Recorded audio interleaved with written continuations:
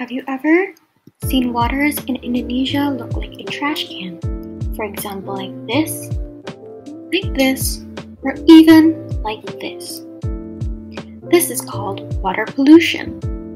But what is water pollution? Water pollution is the contamination of water bodies, usually as a result of human activities, so that it negatively affects its uses. Water bodies include lakes, rivers, oceans, aquifers, reservoirs, and groundwater. Water pollution results when contaminants are introduced into these water bodies. The water pollution in Indonesia is often very much ignored. More than 90% of municipal wastewater is discharged untreated into waterways. The majority of Indonesia's population is exposed to the water pollution, while only 12% of people have access to safe waters all but 7% of groundwater exceeds safe pollutant thresholds. Indonesians still tend to throw trash to the rivers. It is very unethical behavior, it is unresponsible, and people often blame the fault on the government. The current situation is that based on the data that I have received in 2020, 59% of 564 rivers areas were heavily polluted. 26.6% were moderately polluted and 8.9% was lightly polluted. As for the ideal situation, the citizens of Indonesia knows how to properly throw trash into trash bins and not into the waters. As for the waters, it will be clean and there are little to zero trash in the waters, which will result in less flooding and a more hygienic water place in rivers, oceans, and lakes, and etc. Rivers and gutters in Indonesia are clogged with bottles, bags, and other plastic packaging. Officials say that they seem to be involved in a battle against rubbish that has accumulated as fast as they clean it.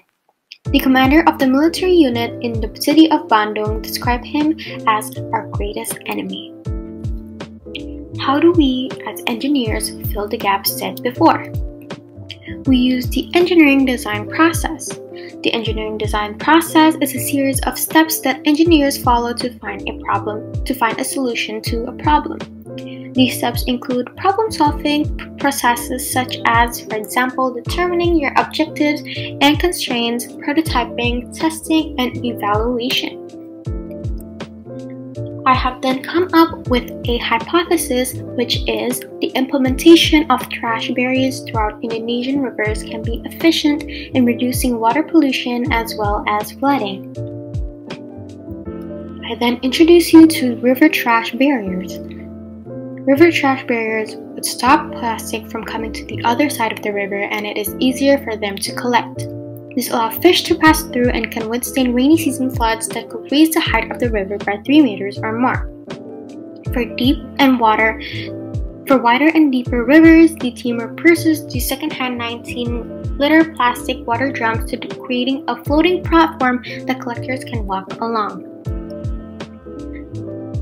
So how to implement this is by gathering data. Data what kind of trash and brands are often thrown to trash in hopes the companies of whose products are polluting the ocean will contribute to the cost of their disposal. Highlight the economic benefits can be done by paying people fairly for their labor and can generate both income and usable assets such as compost and maggots from trash shows the values of the engineer's works to the community. The third is by to work with local community leaders on education. Communi- communicating that plastic trash harms marine ecosystems and does not degrade has been a key to success. The SDGs use are clean water and sanitation, climate action, and also life below water. Thank you so much for listening.